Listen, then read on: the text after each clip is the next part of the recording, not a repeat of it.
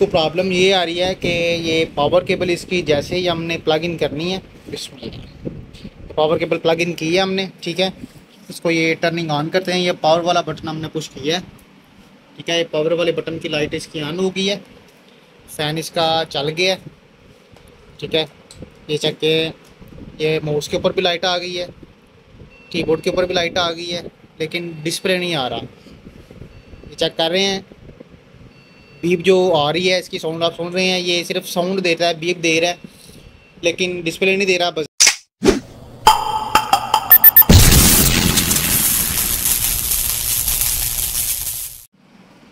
बिसमीम दोस्तों, अल्लाह के फजल और उसके करम से आज फिर एक नई इन्फो के साथ मैं आपकी खिदमत में हाजिर हूँ। ये एच पी का pro sim slim line PC है। उसको प्रॉब्लम ये आ रही है कि ये पावर केबल इसकी जैसे ही हमने प्लग इन करनी है पावर केबल प्लग इन की है हमने, ठीक है?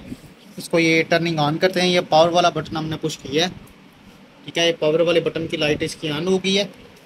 फ़ैन इसका चल गया ठीक है, ये चेक के ये माउस के ऊपर भी लाइट आ गई है।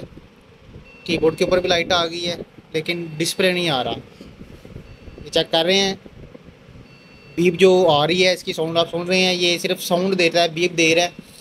लेकिन डिस्प्ले नहीं दे रहा। बाहर ये जो बीप है, ये रैम की होती है, लेकिन डिस्प्ले नहीं आ रहा। लेकिन चले, इसको जब ओपन करते हैं तो ये रैम जो है ना, गर्म हो रही है। इसकी आईसी जो है ना, ये गर्म हो रहे हैं।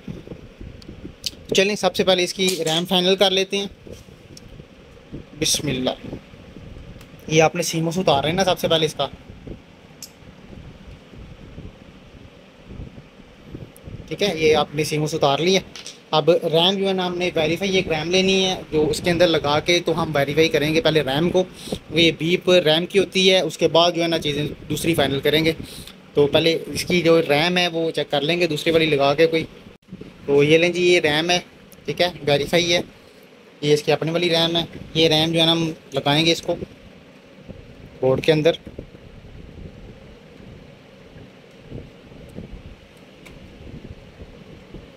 ये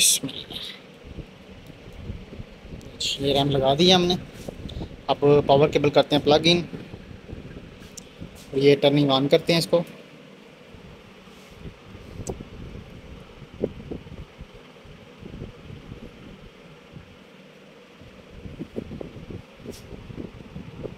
ठीक है, ये रैम लगाई है, लेकिन बीप इसकी नहीं आई।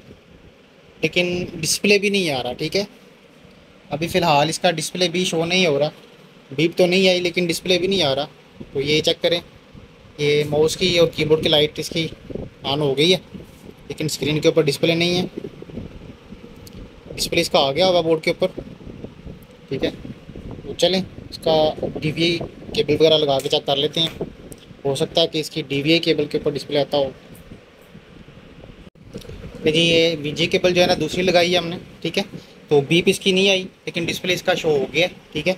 तो ये कीबोर्ड के ऊपर जो है डिस्प्ले आ रहा था शो हो रहा था। तो प्रॉब्लम ये रैम की है, बीप जो थी वो रैम की ही आ रही थी, ठीक है? तो ये डिस्प्ले इसका आ गया। कंप्लीट ओके है, इसको रन करते हैं अभी। एफ़ वन बूट किया हमने। स्टार्ट विंडो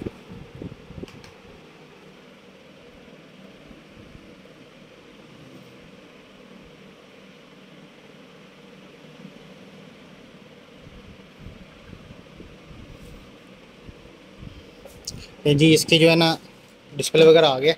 उसको अब शट डाउन करके इसकी दूसरी वाली जो इसकी ओरिजिनल रैम है, ये लगा के हम चेक कर लेंगे ज़रा। कि रैम का ही प्रॉब्लम है। ये रैम ओके है या नहीं ओके क्योंकि ये स्टार्ट में लगा के थोड़ी सी गर्म हो रही थी। चलिए इसको लगाते हैं। ये पावर केबल उतार लेनी है आपने। ये वाली रैम हम उतार लेंगे। ठीक ये रैम लगाते हैं इसकी अपने वाली।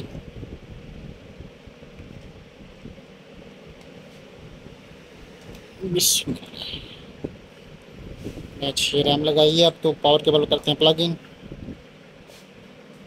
ये टर्निंग ऑन किया इसको।